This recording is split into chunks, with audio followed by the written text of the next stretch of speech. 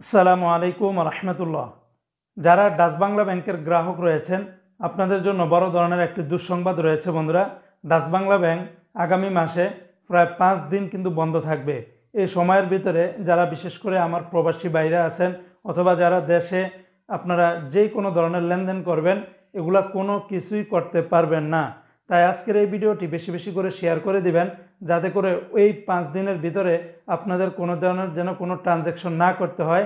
এর আগে বাগেই আপনারা অতি দ্রুত ট্রানজ্যাকশনগুলো করে নেবেন, টাকা উত্তোলন করা লাগলেও সেটা করে নেবেন বা জমা দেওয়া লাগলেও সেটাও কিন্তু আপনারা করে নেবেন।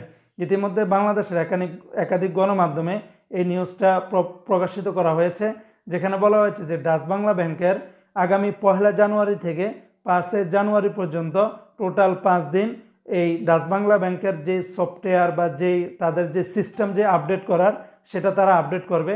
এজন্য তাদের যেই মোবাইল ব্যাংকিং রয়েছে, তাদের যে ডেবিট কার্ড, অনলাইন অ্যাপসের মাধ্যমে মাই ক্যাশ এবং এজেন্ট যে ডাচ বাংলা ব্যাংকিং রয়েছে, সকল ধরনের, এক কথায় বলতে গেলে সকল সিস্টেমগুলি বন্ধ থাকবে। শুধুমাত্র শুধুমাত্র যারা ডাচ বাংলা ব্যাংকের ক্রেডিট কার্ড দিয়ে যারা টাকা পয়সা লেনদেন করবেন বা অন্য এটিএম বুথ থেকে আপনারা টাকা তুলতে পারবেন। শুধুমাত্র ক্রেডিট কার্ড। এখন ডেবিট কার্ড একটা জিনিস আর একটা হলো ক্রেডিট কার্ড। দুইটা কিন্তু দুই জিনিস।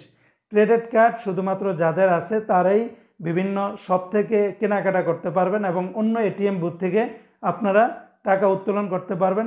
বাংলা ব্যাংকের থেকে না।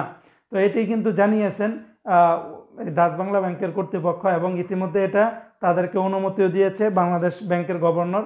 তো আপনারা যারা জানুয়ারির এক তারিখের থেকে নিয়ে পাঁচ তারিখ পর্যন্ত আপনারা লেনদেন করবেন, আপনারা প্লিজ কেউ লেনদেন করতে পারবেন না। এর আগে সকল ধরনের কার্যক্রমগুলো সেরে নেবেন।